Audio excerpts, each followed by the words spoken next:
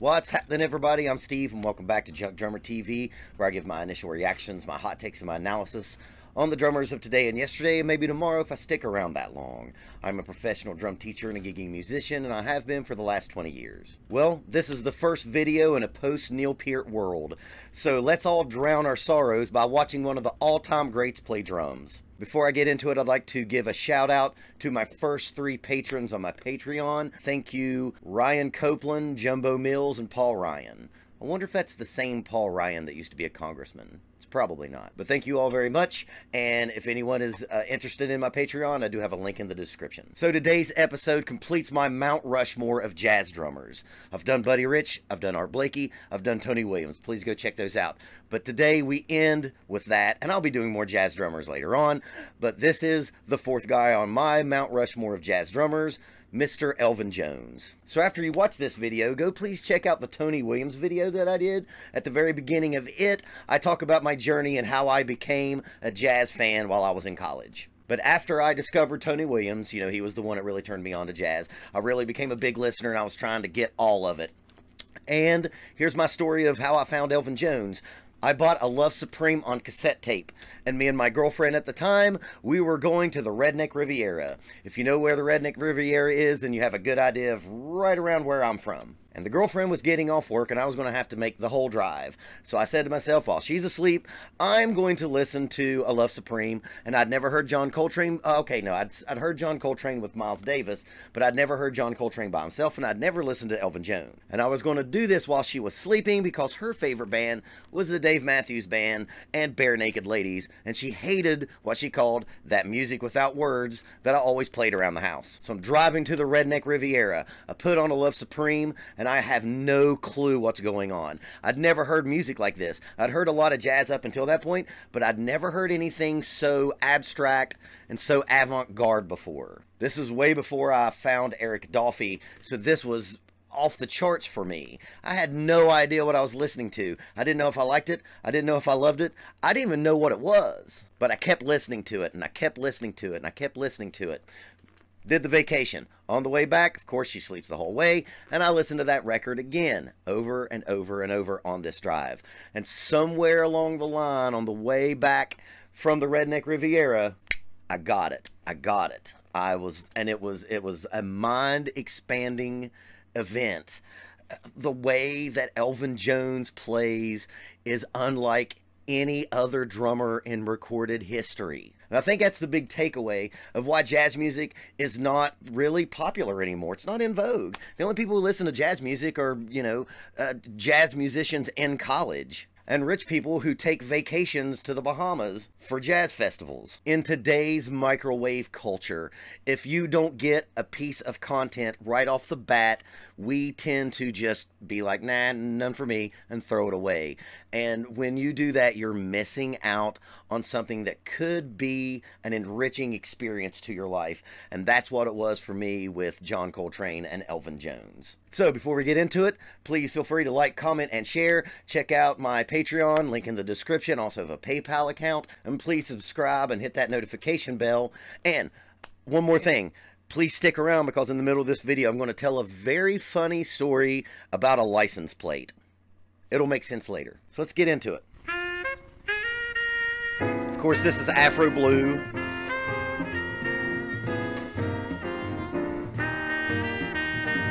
This is one of my all-time favorite standards. This is in 6-8.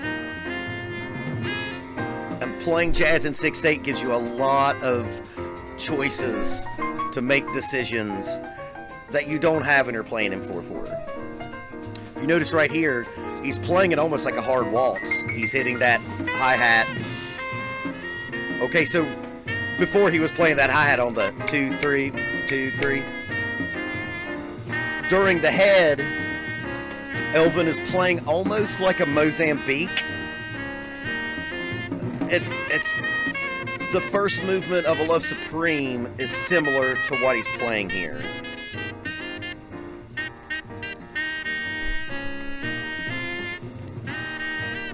You know, if this is your first time, yes, yes. I love, I love that. I love that. I do that. I did that last Wednesday at a gig I played. where he he does this big uh, floor tom roll and it almost kind of sounds like a timpani thing and does this big crash into it. We got to watch that again. I love that. Oh, I love that so much. And he does that to set up this piano solo. Yeah, boy. Oh, I love Elvin. No one plays like him. McCoy Tyner's left hand is from outer space. His left hand is alien. Elvin Jones played a lot off of McCoy's left hand. You know, I want to preface all of this. I am a junior varsity jazz player. Uh, I almost uh, fear doing these videos because I'm not a high level jazz player, but I am a high level jazz uh, appreciator. I don't know if appreciator is a word.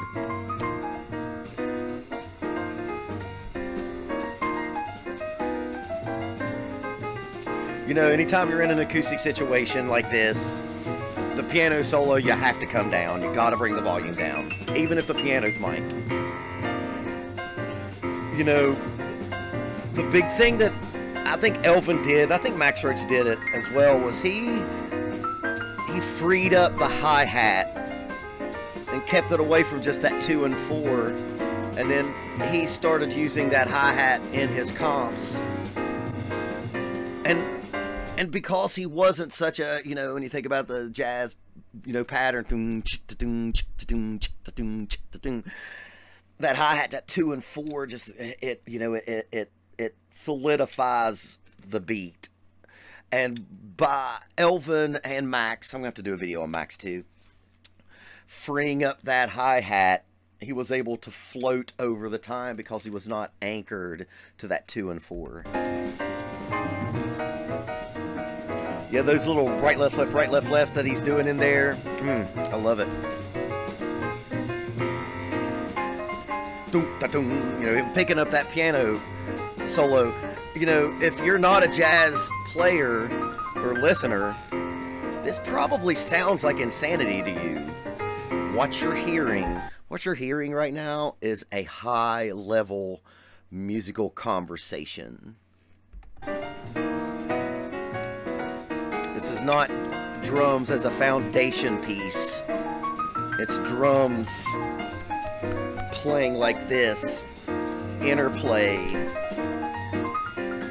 I firmly believe that when you play jazz music, oh god, that left hand. I usually listen to his left hand more than I do his lead lines in his right hand.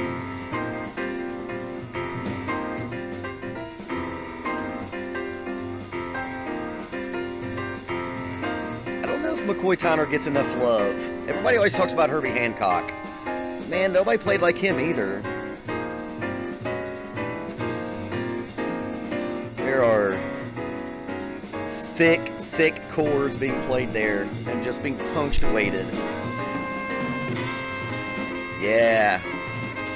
Even in jazz, you have to introduce the next uh, soloist. You know what we're doing here is we're, we're playing choruses and it's not like a chorus in rock music. You know, uh, a jazz standard is set up with what we call the head, which is the melody of the song, and then you solo over what we call choruses in jazz music. And if you notice right there, he still hit a big old crash cymbal. I don't think he did it on the one. I think he did it on a syncopated note before the one, but there it was. He was introducing Mr. Coltrane.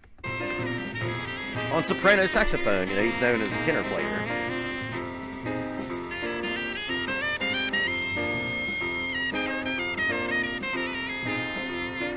Yeah, when you're playing in 6-8, you're not tied to the spang, spangalang, spangalang jazz pattern. Elvin brought in a lot of the Afro-Cuban rolling triplet feel. And a lot of people think that John Bonham got the Bonham triplet feel from Elvin. And he was a big Elvin fan. Dropping those bombs like a bebop drummer, but he wasn't a bebop drummer. He was the next step. Oh my god! Ugh. McCoy Tyner is kicking John Coltrane's ass right there. yes, yes.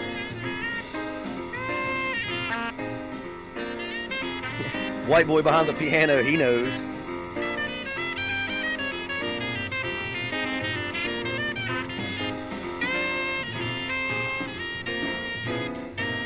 Bringing the head back. You know, that's the, the main melody of this song.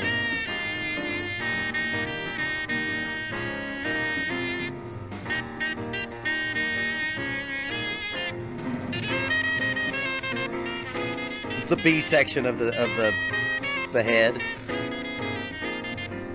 That's where you have your composition that you can play around with on drums.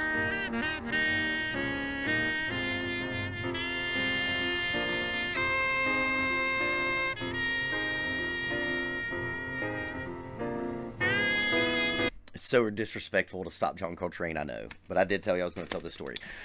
So, uh, the first uh, car that I had after college, you know, I went through when I went in, when I went into college or be, in college, I became just a, a jazz fanatic, one of those just, you know, self-righteous music school nerd jazz fans, and I couldn't wait to let everyone know that I was a cultured white boy and loved Elvin Jones.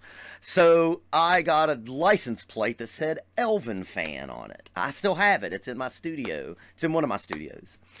And I was just so proud. I was like, man, I'm going to let everyone know, see how cultured I am. I know Elvin Jones and I'm a fan. Well, I got that license plate at right around the time the Lord of the Rings movies came out. So for two or three years while I had that pickup truck, no one asked me, "Hey man, are you an Elvin fan? Are you an El like do you know jazz?" No. Everyone was like, "Which elvish species is your favorite?" No, I love Lord of the Rings, but I didn't even, I didn't even think about the correlation between the two. So two, for two or three years, I had a pickup truck that looked like I was just the biggest Lord of the Rings fans. And I am. I've read all those books. But that was not what I was trying to get across. I wanted everyone to know that I was I was smart and intelligent and I knew jazz music. And it backfired.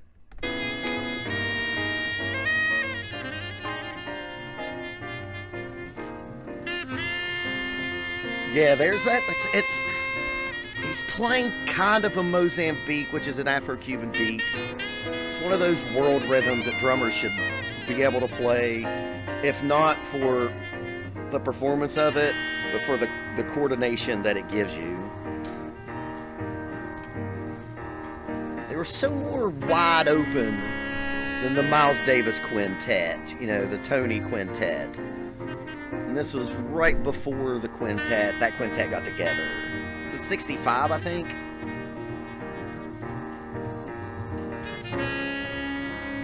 They're exploring right here. You know, they've played the head, they've played choruses, they've played the head again, and they just they're just going now. You're seeing true exploration of your instruments live on TV with no net.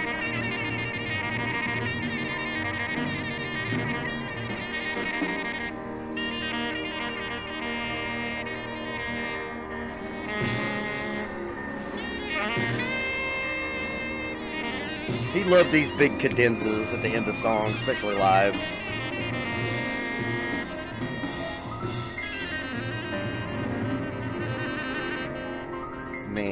God, I love the way he plays drums. So yeah, man, Elvin Jones, McCoy Tyner, Jimmy Gar- Jimmy Garrison, and John Coltrane. Uh, I love it, man. Uh, you know, not a lot of people watch these videos, the jazz videos that I do, and I don't give a shit. Uh, I said to myself when I started this channel that I wasn't going to chase views. I was going to do things that I thought was valuable and things that would be a resource to people and things that would hopefully uh, uh, turn people on to things that they haven't seen before. So I don't care if this none of my jazz videos have done well, but I'm going to keep doing them because I think it's a, it's valuable. It's a valuable music. You know, it's it's pretty much like gone gone. I mean, I know there's tons of jazz recordings released every year.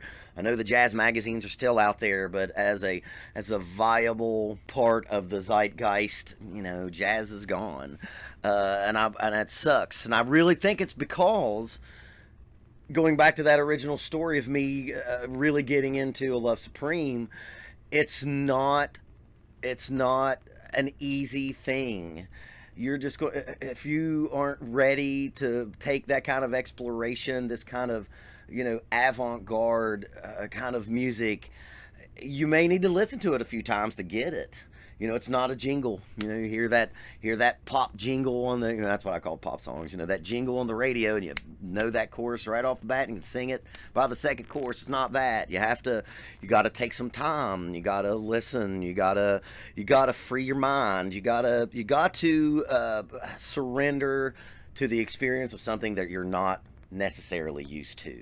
And I think if more people were able to do that, I think jazz would come back again, but it's not looking like that anytime soon. So, if y'all enjoyed all that, please give me a like, comment, and share. Give me a double tap on the subscription and the notification bell. Uh, remember, uh, check out my Patreon and my PayPal uh, and the uh, link in the description.